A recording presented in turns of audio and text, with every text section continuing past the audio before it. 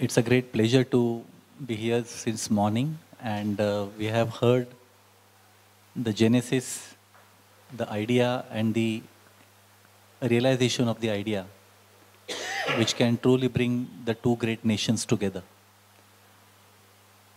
As it was mentioned, that this initiative will go a long way, and the bottom line is that we have to make it happen.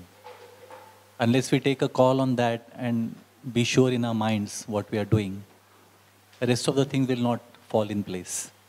And therefore, with the presence of the highest level officials of the government of Maharashtra, the true ambassadors of taking the agenda of the government forward, we are assured that our initiative will truly bear fruits by way of bringing the people from these nations together and open a new vista in the entire relationships at international level, which will be an example for the rest of the world to follow.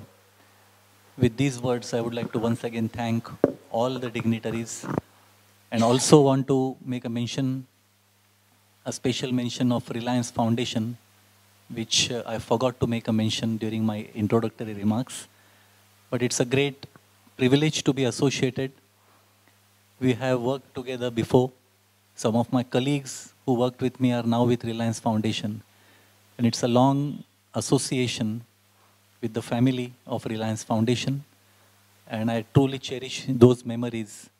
And this is a time in the capacity as a guardian of this great institute, the Mumbai University, to take forward those dreams and make them realize for the betterment of society.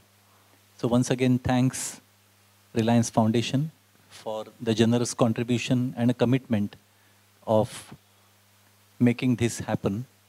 And we look forward to a continued support. Thank you so much. Thank you, sir.